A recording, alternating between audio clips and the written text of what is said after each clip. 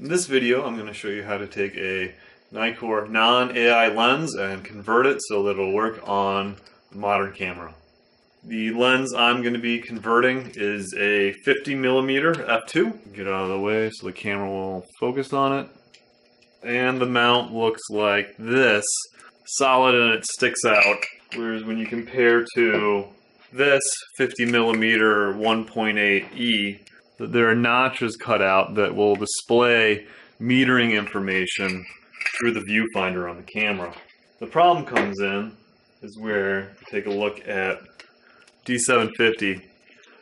Right there, there's a small little tab, and that's used to display the aperture information um, into the viewfinder when you have a non-CPU contacted lens. Older cameras used a little pin right there that would sit right in the little notch on the lens. And then when the aperture changed, we move the little tab around. As I move the aperture ring.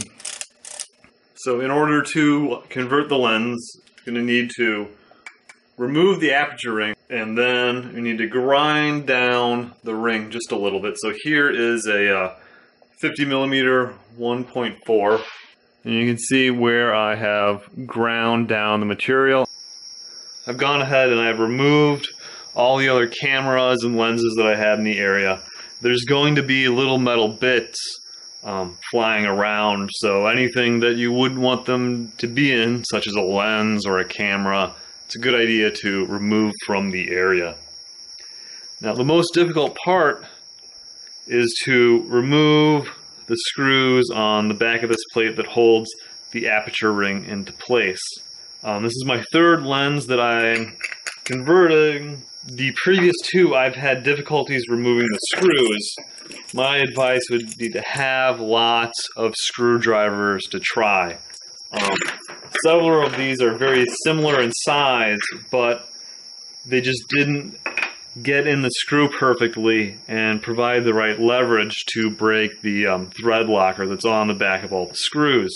So I would go through and try a bunch of different screwdrivers, and for this lens, this cheap screwdriver that I think I got um, for replacing my cell phone battery ended up working. You don't want to strip any of these screws so this one fits perfectly well in and I've already um, broken the thread lock. So I'm going to drop these into the uh, rear cap on the uh, 50 millimeter f1.4 this screw right here had a spring attached to it that um, would provide some tension on the um, bayonet and I removed it and that was problematic. So, uh, and then on the uh, 135 uh, Nikkor QC, there was no spring um, tension, so all five had to be removed. So there's the notch here, there's the bayonet. This screw right here, my advice would be to remove it last. Not sure which lenses needs to be removed on or not. I think this one needs to be removed. I'm going to listen because on the 1.4 uh, 50 millimeter, I could hear the spring tension leaving and the screw was longer. This is the same length as the rest of them. Um, and then it pops out. Uh, and there is the spring I was talking about. On this lens, it's not hooked up to a um, screw. We'll be very careful not to damage that or remove it. And once that's done, you can see the inside of the lens. I'm going to check some of them have a screw around the aperture ring that uh, holds it into place. This one doesn't. The aperture ring easily comes off. So now I'm going to take off this piece right here, being very careful not to lose those tiny screws. So now we have the aperture ring. I'm going to take the lens and the cap with all the screws and everything out of the area. Now that I have the lens out of the area, I'm going to use a uh, metal file to make a notch. Now you want to make sure to notch the side opposite the numbers. So what I'm going to do is I'm going to take the file and I'm going to use the edge very carefully line up and start making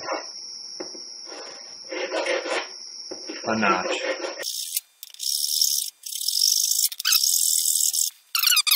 Don't need to go past the the screw holes.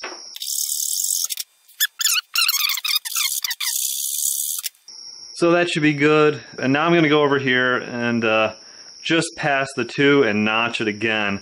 And that'll give me the air access to the area that I want to um, grind away with the uh, Dremel.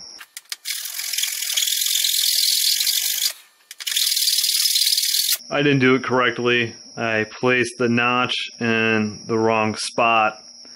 I'm pretty sure that you can see this gap right here. I would aim for right there to past right here on the aperture ring because it needs to line up with the 11 somewhere right there through.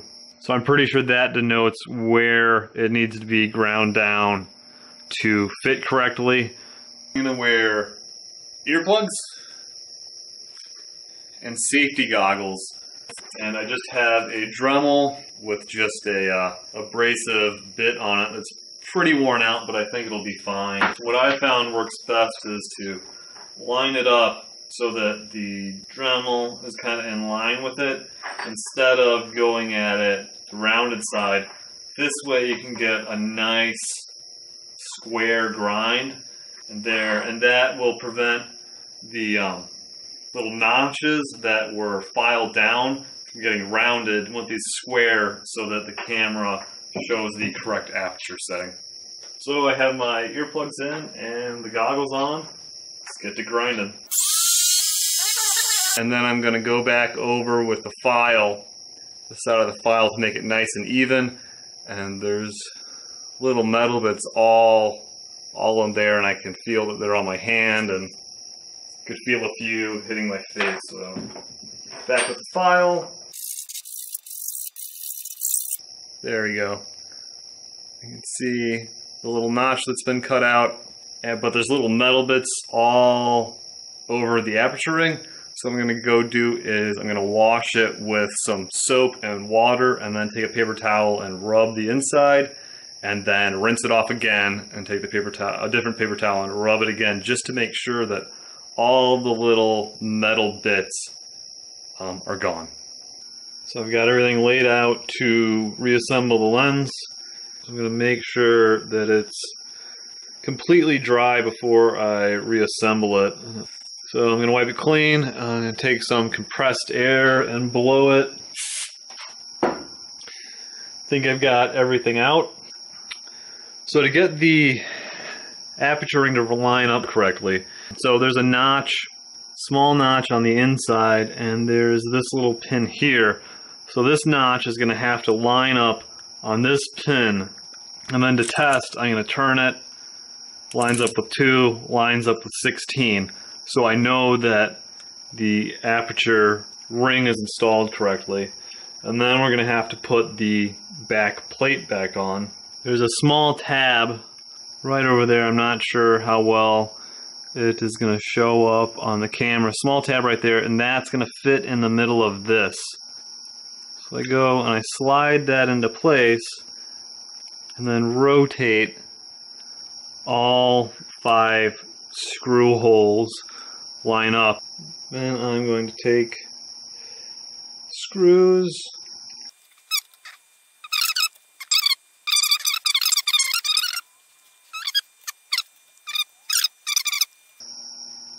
Okay, so I'm pretty happy with that. And now I'm going to take both lens caps off and make sure that the aperture ring is adjusting everything correctly.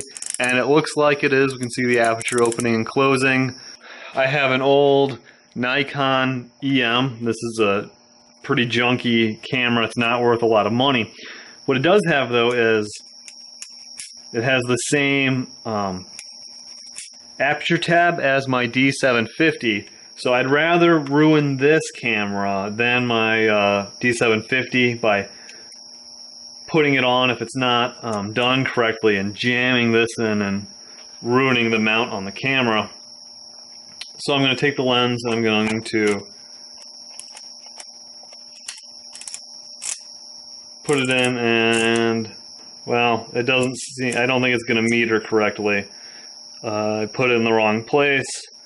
The 16 had worked on other um, lenses, but I guess with the uh, f2 it needs to be on the 11. Um, what I am interested in is see it's catching right on the edge of the 2 so it appears that you know I have a little bit more space to go over here.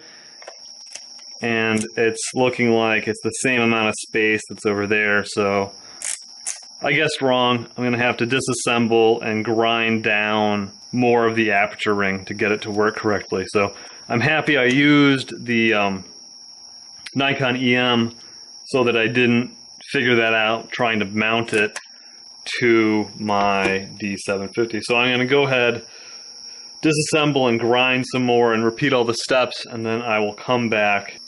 Hopefully second time's the charm. There it is, the larger notch cut out. And now when I go to stick it on the Nikon EM, see that there's enough clearance for the little uh, notch or pin or whatever. Lock into place, and unfortunately it won't meter correctly, but it does fit, so it will be functional on the camera.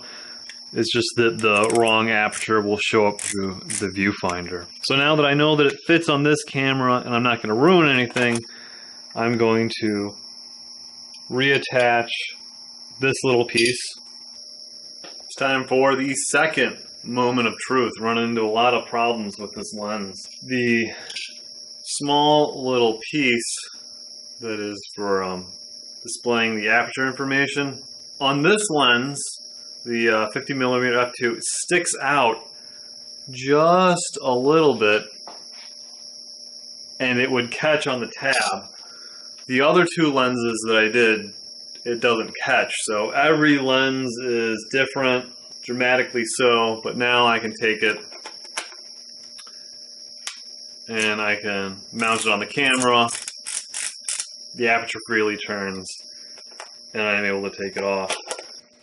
So despite having to do a couple steps twice and messing up the modification of the aperture ring, pretty happy with how things turned out. The lens will now function on the uh, D750. I can take it and I can manually focus, take pictures with it, uh, and it was a nice learning experience. Again, the third lens I've done, if I come across uh, another one and I can pick it up for an inexpensive price, I'll make another video of modifying that one. And hopefully that one will go better. Thanks for watching.